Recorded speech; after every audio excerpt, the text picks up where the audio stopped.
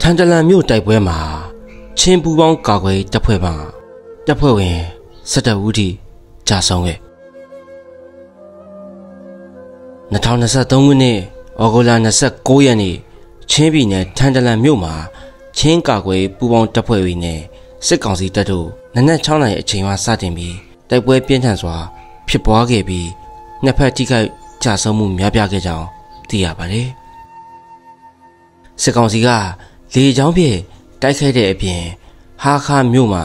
လက်နက်ကြီးများဖြင့်လည်းအဆက်မပြတ်ပစ်ကူပေးခဲ့ကြောင်းဒေသသတင်းရင်းများထံမှသိရပါတယ်ထန်တလန်မြို့တိုက်ပွဲမှာချင်းမျိုးသားတပ်မတော် CNA မှတပ်ဖွဲ့ဝင်9ဦးချင်းကာကွယ်တပ်ဖွဲ့ဇိုဖေမှတပ်ဖွဲ့ဝင်4ဦးချင်းကာကွယ်တပ်ဖွဲ့ထန်တလန်မှတပ်ဖွဲ့ဝင်2ဦးနဲ့ချင်းကာကွယ်တပ်ဖွဲ့ဟာခမှ တပ်ဖွဲ့ဝင်2ဦးတို့ကြာဆုံးသွားခဲ့ရကြောင်းသိရပါတယ်ဟာခမျိုးမှာ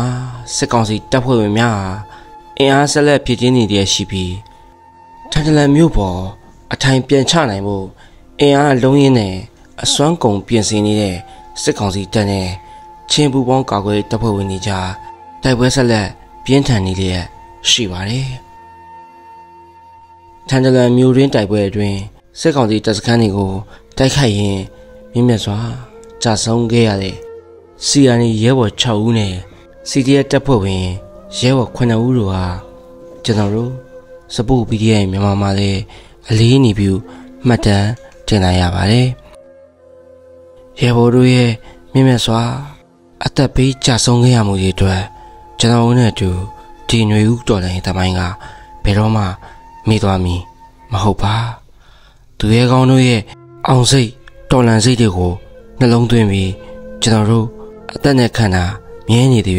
ဒီတော်လန်ရေးကို အဖက်ဖက်ကနေဆက်လက်ပါဝင်နေပါမယ်လို့ကတိသစ္စာပြုလိုက်ရပါတယ်ရဲဘော်တို့